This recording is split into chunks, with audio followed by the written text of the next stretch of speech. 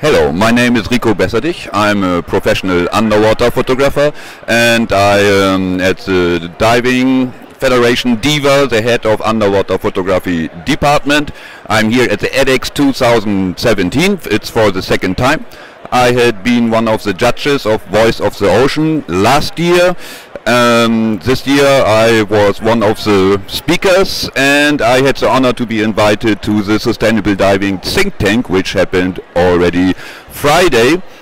Um, I must say this is a very very nice thing because I felt very honored to be a part, had been a part of it and um, very good people came together. We worked out quite some cool ideas. It's of course not done within two hours or even two years. So we already made plans to keep on working on this and we will see here in 2018. Thank you.